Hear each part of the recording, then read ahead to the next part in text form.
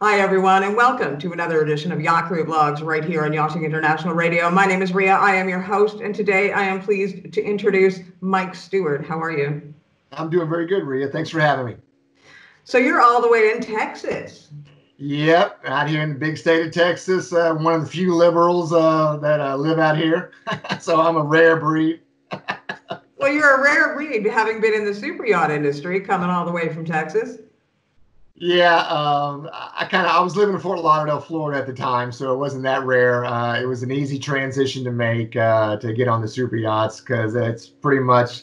I, I mean, uh, well, maybe not that, but in 1997 when I jumped on the Limitless, uh, Fort Lauderdale was pretty much the super yacht capital of the world. It seemed like anyway to me. Well, and that's why we have you here because you know one of the biggest stories in the past, I don't know, say five years or so, has been Jeffrey Epstein. Mm-hmm.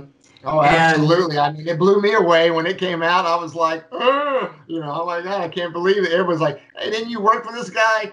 And I was like, there's no way he's involved whatsoever. I don't know what they're talking about. And of course, the more that came out in this Netflix docu-series, Filthy Rich, came out. And of course, I jumped right in. You know, I've got to binge this thing to find out what the scoop is. And I was just like stunned, speechless. I couldn't believe uh, what I was hearing.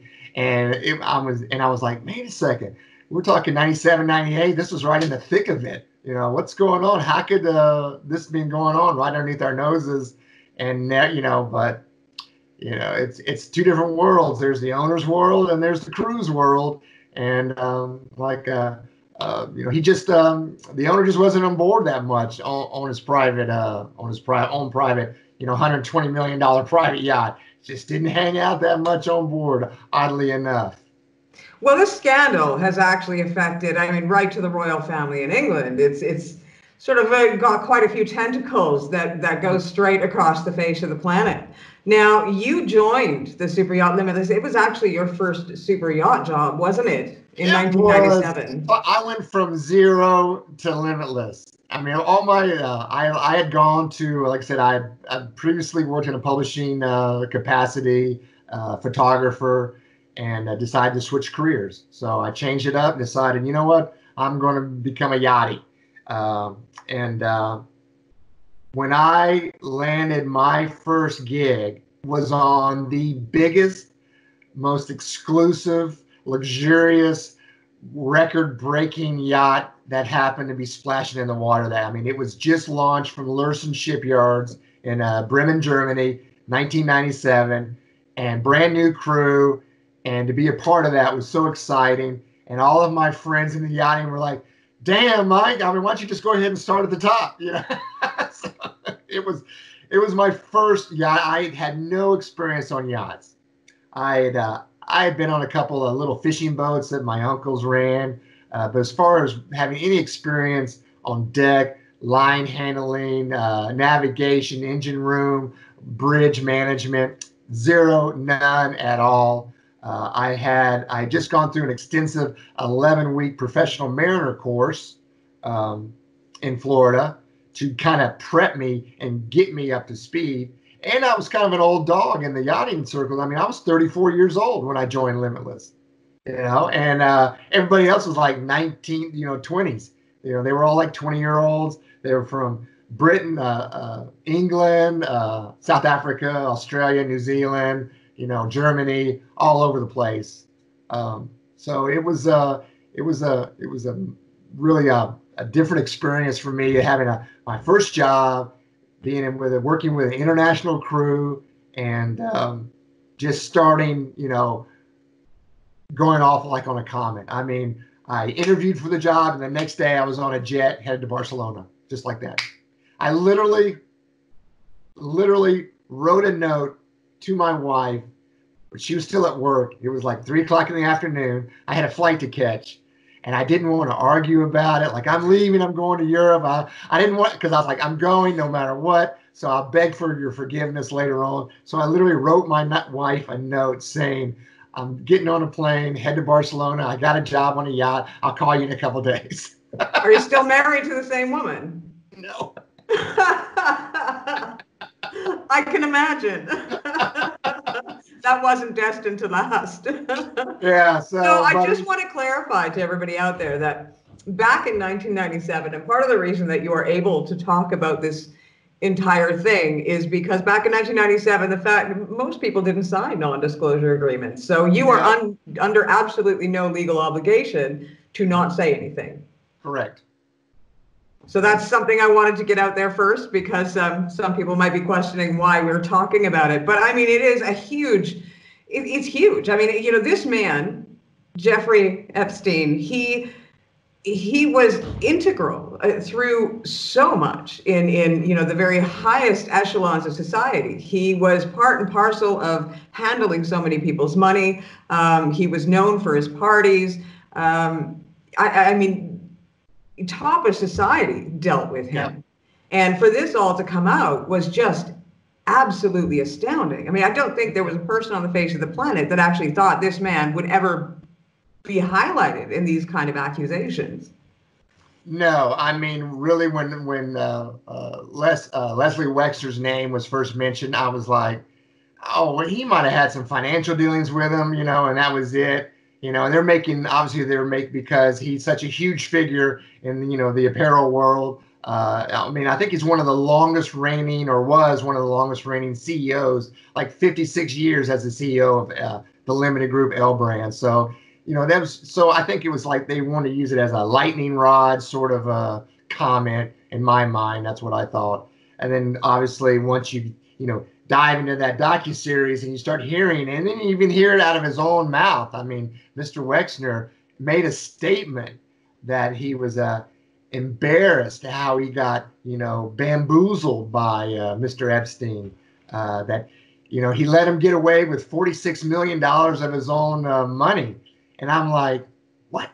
And I couldn't believe these details that were coming out. And I was like, unbelievable. I just had no idea.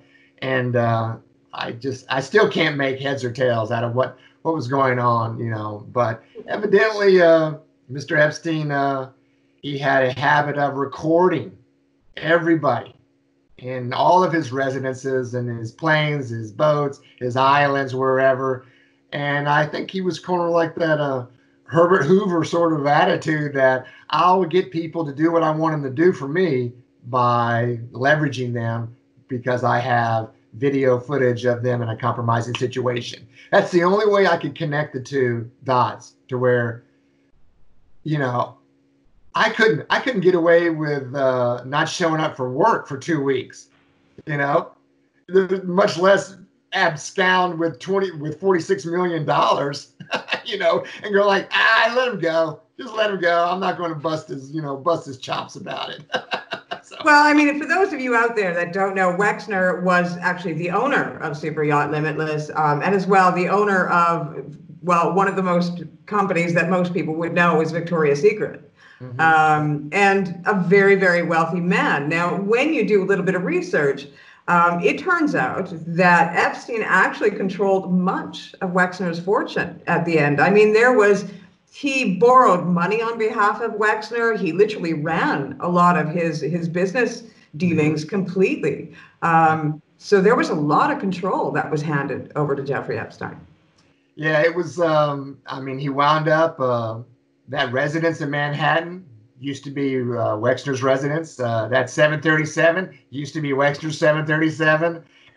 I don't know. It's uh, I don't know how he did it.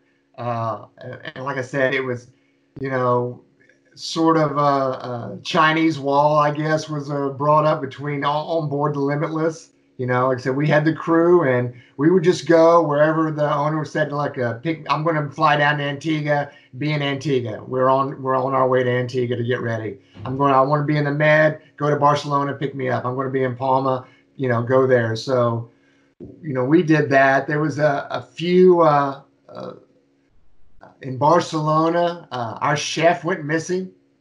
Uh, he disappeared after one night of partying. Uh, you know, I mean, back then, cruise party, we, we worked hard, but we partied even harder. It was not unusual to race the sun back to the boat to start your next days of work on board.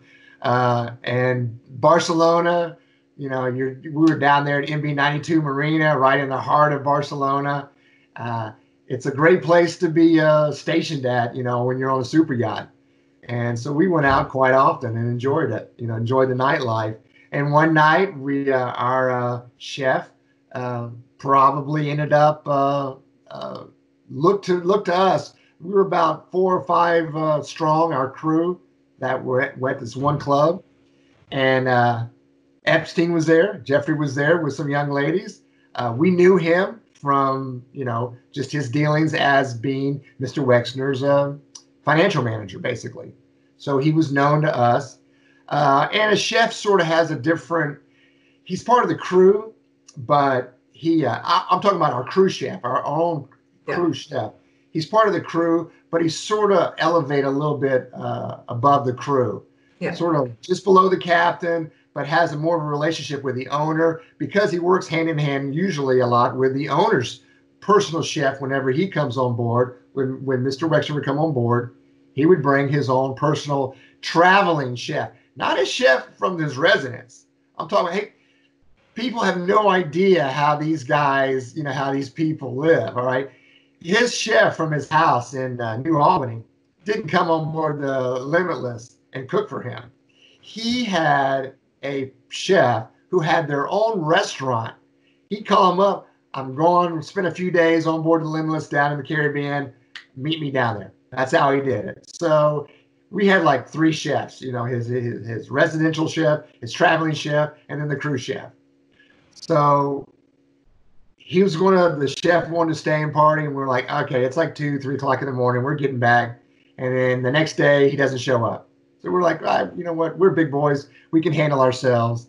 Uh, we can make breakfast and lunch. But then dinner time, we're kind of like, well, he is like the crew. I mean, he's supposed to feed us. That's his job on board. So, okay. But we're getting worried because, you know, it's Barcelona. There's pickpocketing, there's mugging, things happen, you know, especially for crew members, you know, uh, walking down the side street, all of a sudden you get jumped, you know, mugged. Not that it, it's more prevalent in Barcelona. It's not. That happens in Chicago, Miami, New York, you know, LA, anywhere. So uh, he just no phone calls, no word. It'd been 24 hours and nobody knew where he was. So we started going through the hospitals, emergency rooms, police stations, trying to find him, going back, retracing his steps. You know, did he leave with Jeffrey? We didn't had no idea. Three days went by, no word on his whereabouts until finally we got a phone call that he was indeed with uh, uh, Jeffrey Epstein. Uh, that he had blacked out, taken some drugs, and he was very embarrassed about the whole thing. And they just went back. They flew back to the states, and took three days for somebody to let us know. So we were just kind of told, you know, hey, don't talk about it. Uh, and you know what? They plugged in another chef and, uh, the next day. So how often did Jeffrey come on board? Um, he actually as far as I knew, he had never been on board uh, the Limitless.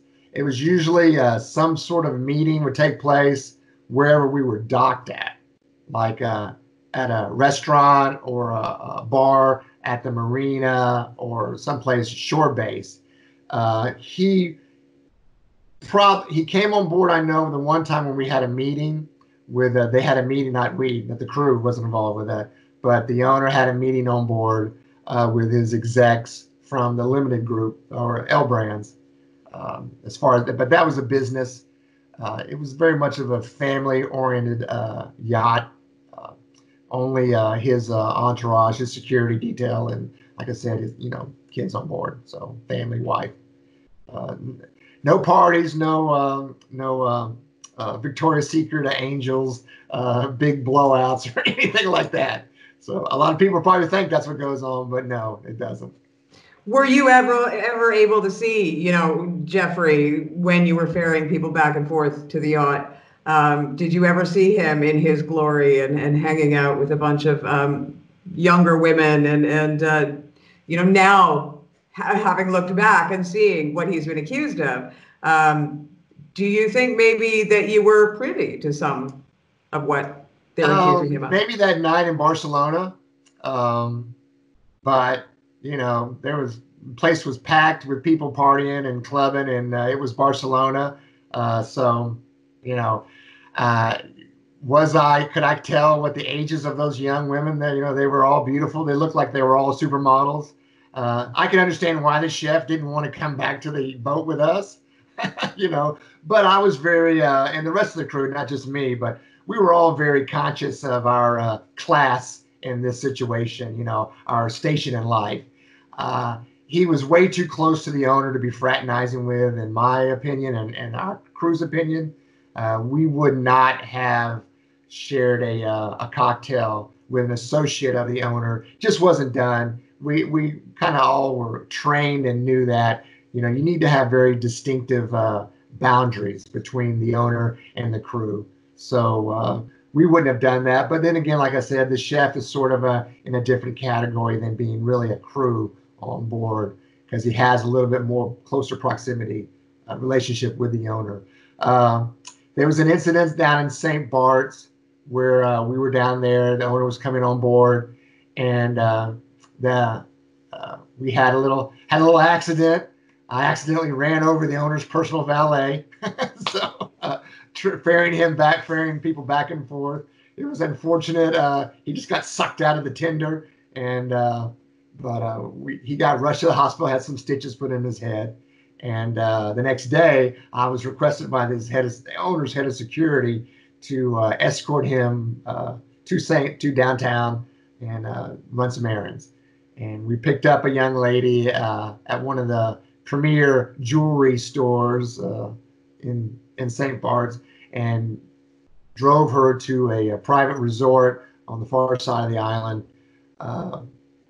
basically dropping her off I thought it was a little weird that uh, I know it wasn't the owner was there because he was on board. I just left him. He was on board. His family was on board. So it was just me and the head of security and this young lady um, who looked to be probably 20 uh, um, and dropped her off there. And I just thought that was kind of a weird errand for a part of, for a deck member to run with the head of security. You know, we were picking up uh, some parts that we needed to have flown in and uh, I guess he made arrangements for some hard to get items uh, from a diff- couple of different restaurants, and we ended up uh, uh, having lunch together and discussing some things uh, at one of the very cool and hip Vietnamese restaurants in St. Bart's. But and that was pretty much my only um, sort of interaction I ever had um, with you know something weird might be going on. Well, in your personal opinion, um, do you think someone like Wexner, having given Jeffrey so much power over his empire, do you think realistically that these people that interacted so closely with Jeffrey would really have no clue as to what he was up to? You know, I, I it boggles my mind how he could. Um, so yeah, he had signed over his power of attorney. You know, and I was like, how could such a powerful man as Mr. Wexner, uh, an icon in the business world, why would he do that? Uh, why would he give up so much power to somebody who basically just kind of came along, uh, you know, one day out of nowhere?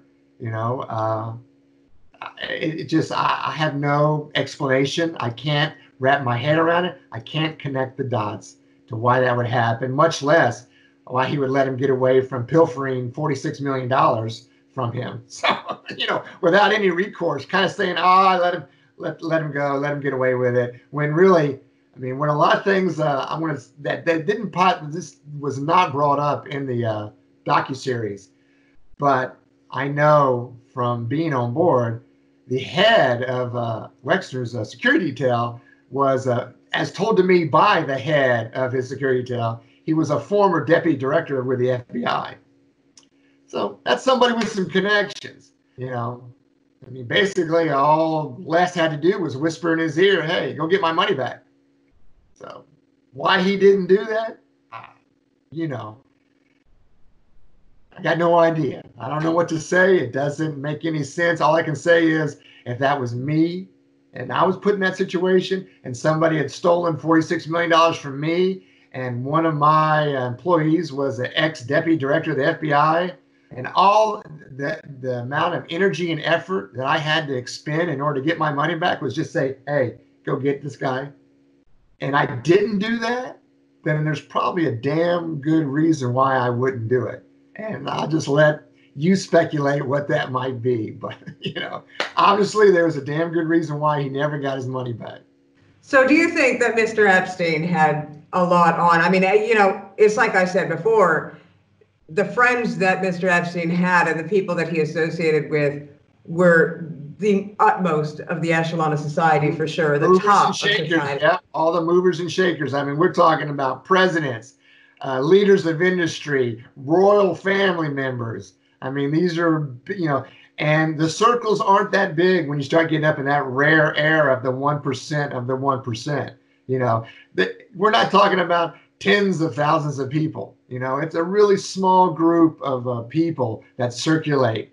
And like uh, we had we had spoke briefly before about how news gets around in the yachting circles. You know, if you have an accident down the Caribbean, uh, people in uh, uh, Palma, Mallorca are going to hear about it within 24 hours. I mean, word tra- news travels fast. Bad news travels like lightning throughout the yachting industry. So I can't imagine that all these people that travel these circles weren't very well aware of his reputation, I mean, we know from uh, interviews with President Trump that he had about speaking about Jeffrey Epstein, you know, how what his reputation was with the young ladies. So, you know, people knew about it, you know. Um, I don't know what to say.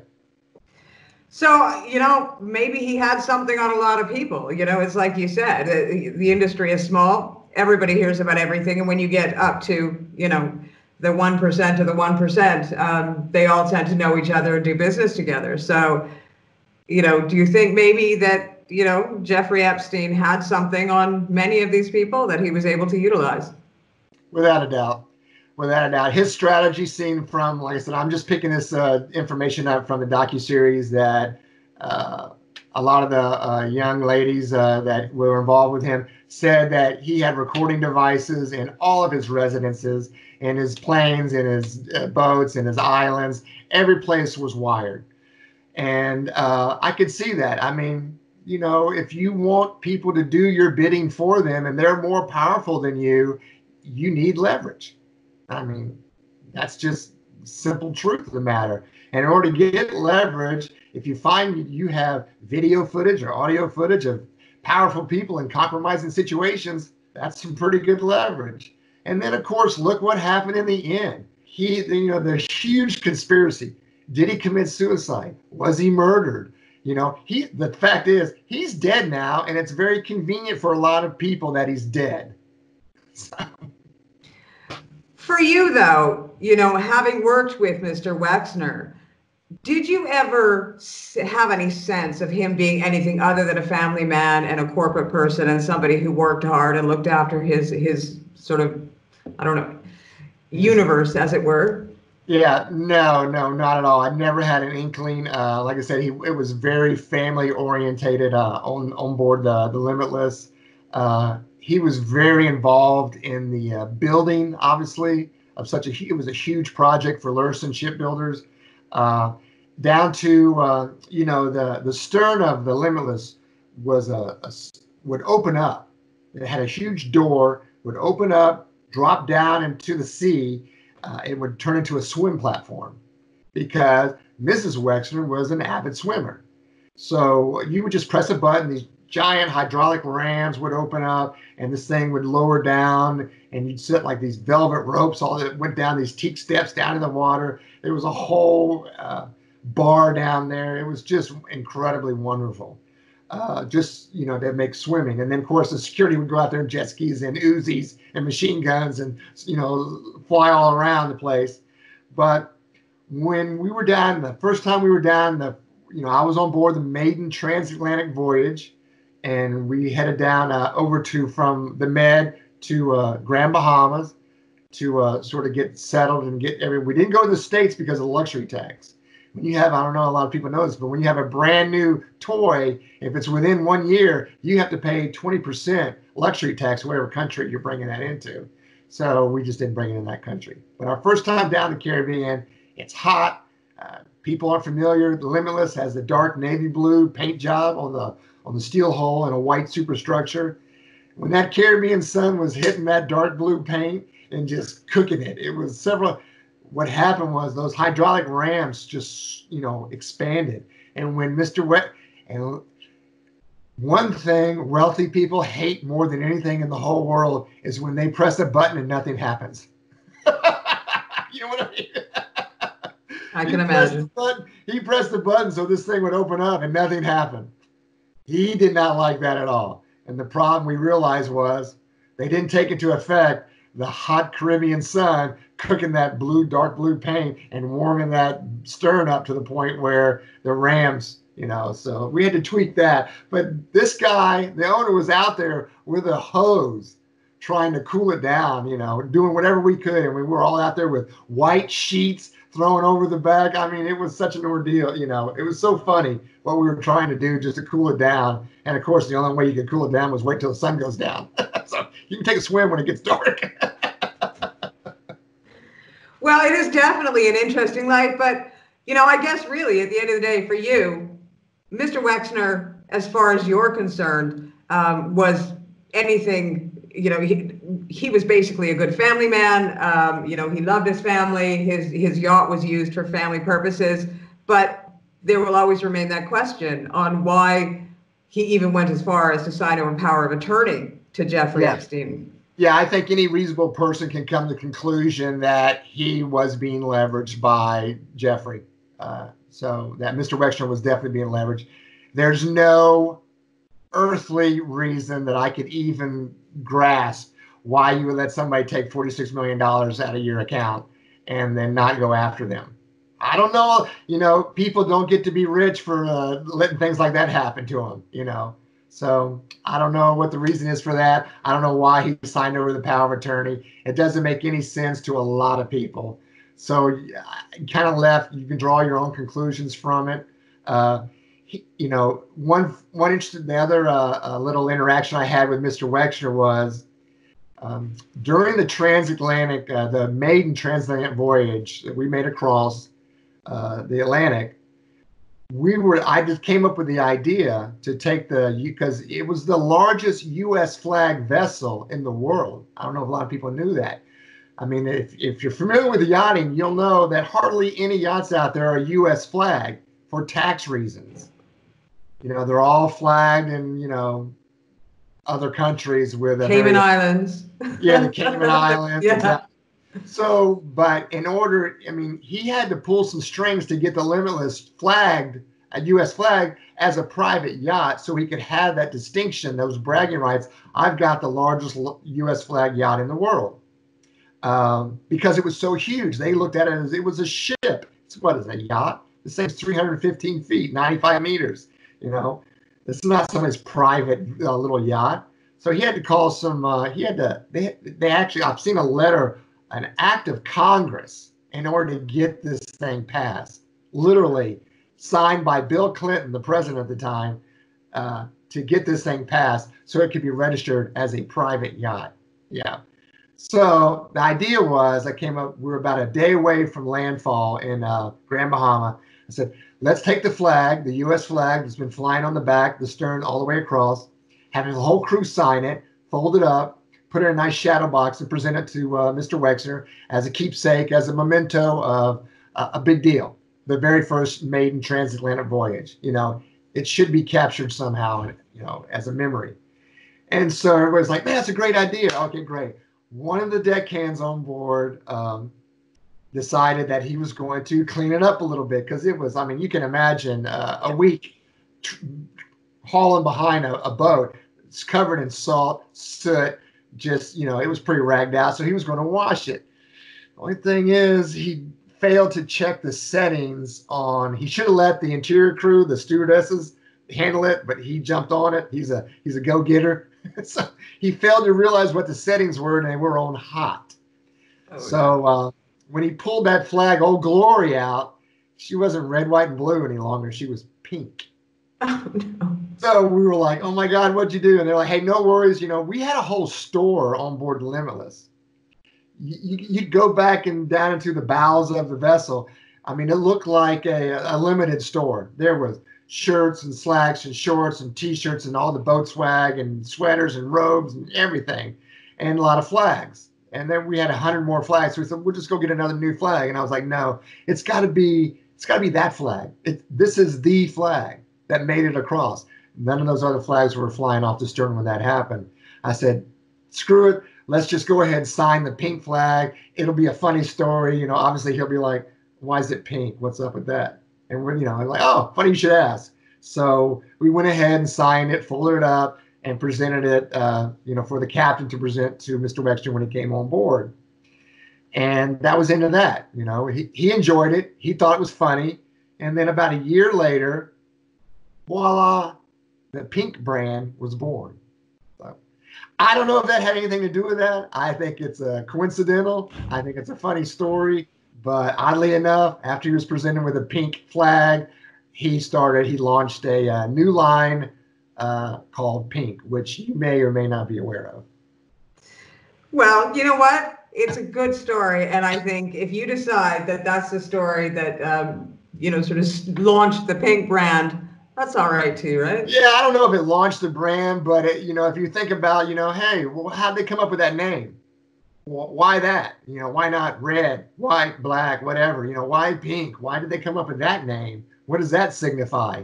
And you know, and I've I've did my research, and I was like, I couldn't find any reason why they decided to come up with that name, and uh, especially on the heels of being presented with a pink flag. So I was like, hey, you know what? maybe so, maybe not, but it's a good story and it happened. It's true. And that's what happened. So we did present him with the flag, and it just so happened to be pink. well, do you think we're going to see any more coming out of the Jeffrey Epstein stories coming forward into the future? Uh, you know, I, normally I think the average uh, person would say, obviously, there's a lot more to be uh, to, to unfold here. But you know, if you go back and check your history of other scandals, especially that involve the uh, the utmost echelon of the wealthy and privileged, they seem to have a uh, a certain ability to scrub, you know, the the story clean and to make something nothing. So, are the are the the, the powers that be, the people that are most affected by this, working their butts off to make sure that uh, you know this doesn't go any further than the Netflix documentary? Probably.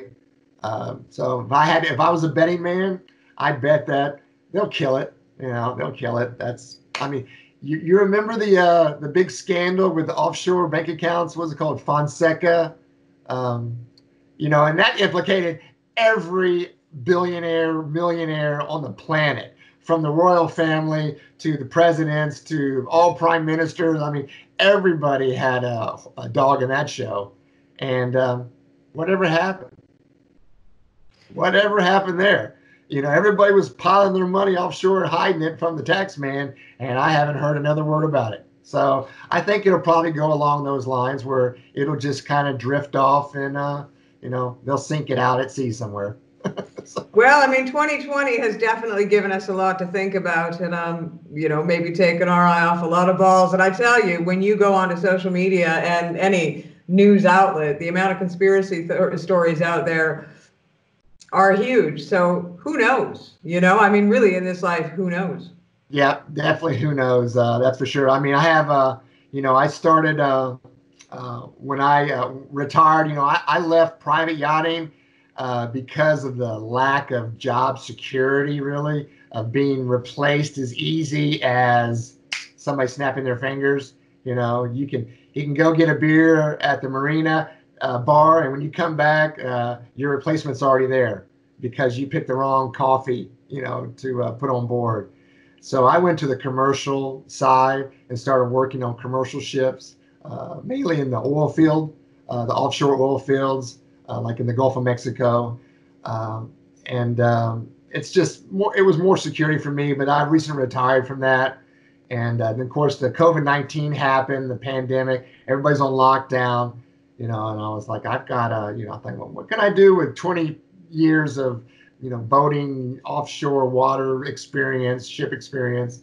you know, to uh, start, you know, kind of my my own gig and and try to do a, a branch out in social media like a YouTube channel, you know, and try to share my experience with other people and to help people if you're interested like I did. I went from having no experience to working on a super yacht or getting my master's license and running, uh, uh, you know, very big vessels. You know, if that's something you might be interested in doing, you know, let me show you how you do it. I'll show you how I did it, and you can decide for yourself. And along the way, we'll, you know, we'll talk about little stories of misadventures like we have, because there's a lot, a lot can happen uh, out there in the yachting world. Uh, so I decided to do something like that, just to kind of keep my connection with the yachting world and um, stay relevant and um, you know try to you know start a new venture. Well, I have to say, today's day and age, it seems like the United States, as far as crew goes, have come a lot further than the rest of the world as far as contracts go. It's not so easy anymore. Um, unfortunately, the United States is known as a litigious society. Um, so people are very, very careful with their contracts. Things are built in. The you know, there's unions. There's there's so many different things that happen in the United States that make it almost impossible um, to treat employees the same way that they used to, or crew the same way they used to back in 1997, 1998. When you come to other countries, for example, Europe, straight across the board, uh, England, it still is fairly easy to get rid of your crew for one reason or the other because the laws aren't in place. But I know that there are many organizations that are looking at changing those laws and making job security uh, a little bit more um, secure. yeah, but I without think that, it's lagging behind. But I mean, they're they really like in this day and age, now in 2020 with the uh, STCW regulations. You know, before you know, especially in the private. I mean, chartering when you're taking money to take people on board, you, you have to meet a different threshold. But private yachting, you could virtually. I mean, if the insurance company or the, the boat was going to be underwritten by the owner, you know, his uh, next door neighbor could captain the boat. It's private. There's no oversight. You know, it's it's only the insurance companies that started the oversight on a lot of these private yachts. Going, no, no, no, we want the captain and the crew to have some sort of certifications as far as uh, you know, first aid, CPR, water survival, life saving, things like that. So, but back in the day, that wasn't the case. And so now everybody has to be heavily certified. And like you said earlier, it is like a like a hamster wheel effect. You know, once you get on there and you've invested so much time and money in your licensing and your certifications, you got to keep it going. You know, uh, all these things have uh, either two year, four year, five year renewal, or you have to have refresher courses, which is a good thing, obviously, when it comes to saving somebody's life. I mean, having an emergency on board, I've experienced that, and I'm so glad that my crew, you know, was well versed in emergency procedures, you know, on board when that happened. So yeah, it's definitely, and I think salaries um, and job security contracts, it's lagging behind, but it, will eventually catch up because it's going to have to. Uh, the one thing, uh, you know, that uh, a lot of people, at least when I was on, on board, we're kind of on retainer. If you got a good crew on board, whether they're working on board, even they're on board or not, you still have to pay that crew. Because if you stop paying somebody, they're just going to leave. They're just going to go work on another boat. So you have to keep a crew on retainer, and you need a contract for that. You're not, you can't keep them working 365 days. Some some vessels do that. Some crews do work 365 days out of the year, you know, with very limited time off. And when the owners or guests are on board, it's a 24/7 gig. There's none of this. Uh, you have mandatory. I mean, they might say that, but that's that's not the case in real in the real world. You're working, you're doing whatever. As long as the guest is up, the crew is up. You might have to be able to swap off depending on the size of the vessel. Some deckhands can sleep while others stay awake, but basically the crew's up. The guests are up, the crew's up. They stay up till three, crew's up till three, and then you got to get up at you know the crack of dawn to get everything ready for the next day and you start doing that, you know, it's hard, but that's the life. You know, now the balance is when the when the owners aren't on board and there's no guest on board, it's your vessel. Things are a lot more, you know, tranquil. You know, just everybody's chilled out a little bit more, a lot more.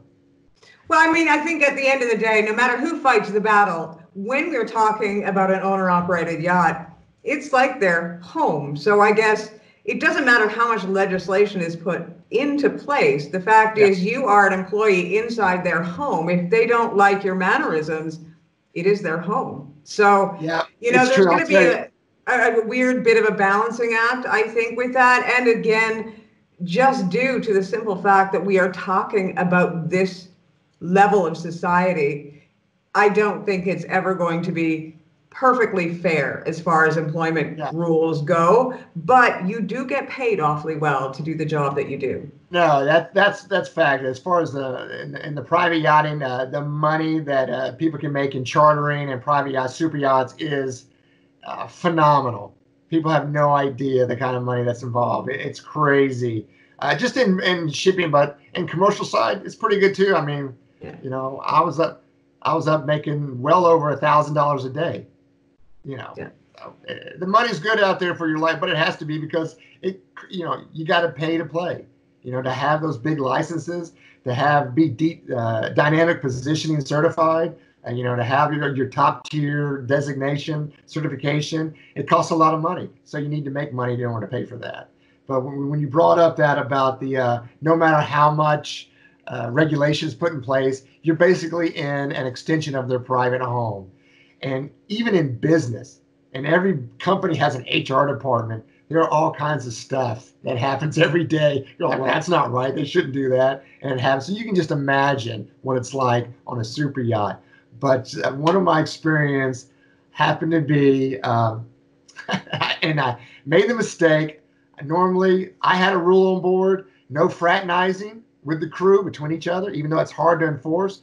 But because the owners and the guests can pick up on uh, a bad vibe. If, if two crew members have had an argument or a love spat, they pick that up, and then they're like, "Why do I feel uncomfortable on my own yacht? Because you guys are not having a good, you know." So they'll fire everybody just like that. So I'm like, no fraternizing amongst the crew. You can go to other boats and date other crew members all you want.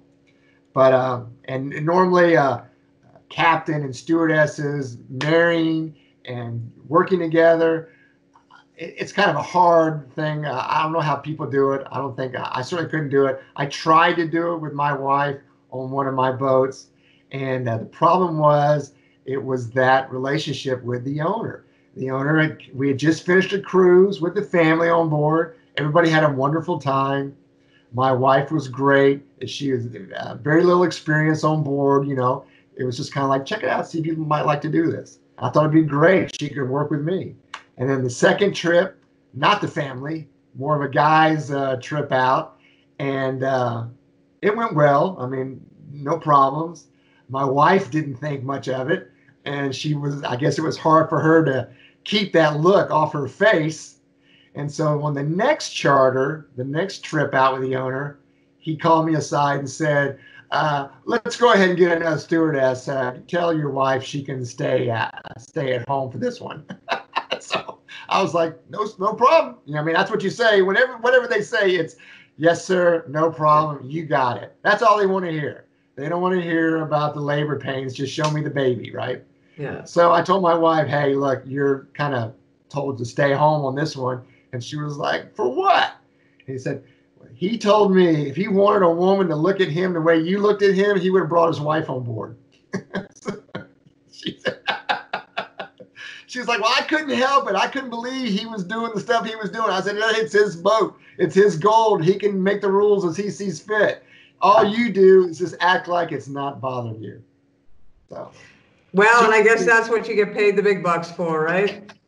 that's right. You got to have that face like it's okay. You've got to be an actor. You got to be an actor straight through. Yep. So what's next for you, Mike? What now that you've gotten out of the commercial sector, where are you headed now?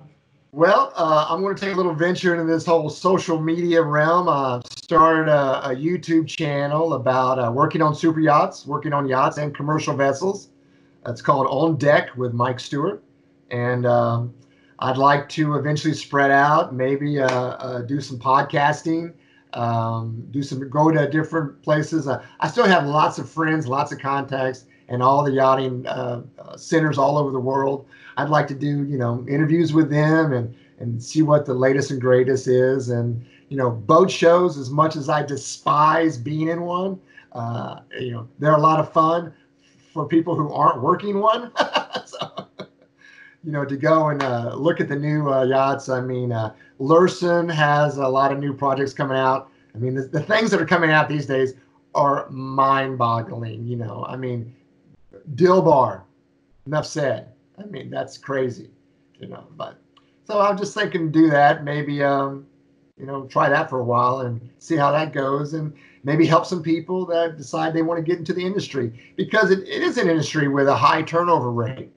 A lot of people just come for uh, the summer, you know, to work a summer in the med because they're in between uh, university years, or they just want to take a little vacation where they can work and get paid for it. You know, you can do that. You can do that on a yacht. Uh, it doesn't have to be a career. You don't have to say, "Oh, I'm going to get my license and become a captain or or a chief stew on a, a hundred meter uh, yacht." You don't have to do that. You can just go and, and have fun for a year. So there is a high turnover uh, rate, and there's always going to be new people that want to get into the industry. So I thought maybe I'd try to try and help them uh, succeed at that. Well, excellent. We'll make sure to provide a link to On Deck with Mike Steuart, um, and hopefully people head on over and sign up to your YouTube channel. Mike, I thank you very, very much for your contribution today, and uh, you know for your insight into, into some of the things that have happened, as well just into the world of yachting and, and super yachts. Well, thank you very much. It was my pleasure to be here. Well, maybe we'll catch up again soon one day, and you can let us know how your latest venture is going. Oh, absolutely. Look forward to it. Wonderful. Once again, you've been watching another edition of Yacht Crew Vlogs right here on Yachting International Radio. Our thanks goes out to Mike Steuart. My name is Ria. I have been your host. Tune in again for another episode.